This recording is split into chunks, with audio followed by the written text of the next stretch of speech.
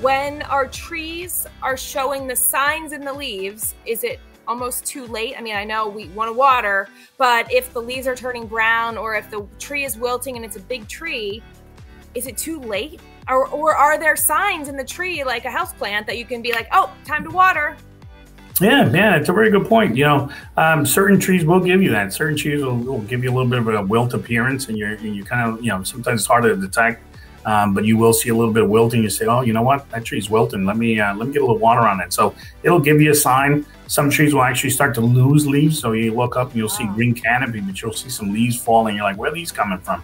Sometimes they'll turn a slightly different color, not brown. Maybe they be a, a, a bit of a yellow or, or a tinge, you know, off color, and they'll fall. So you do have all these different signs that that kind of tell you, hey, something's going on here.